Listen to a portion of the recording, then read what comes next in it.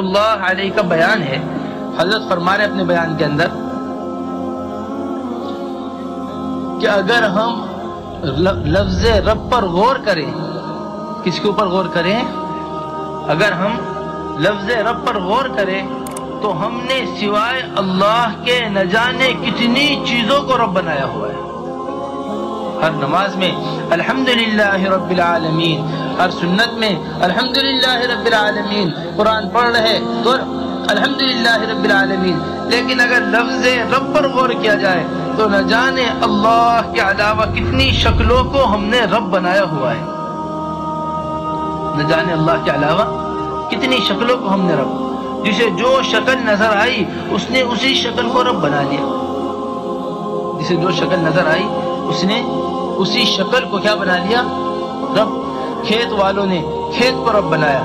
रब का मतलब है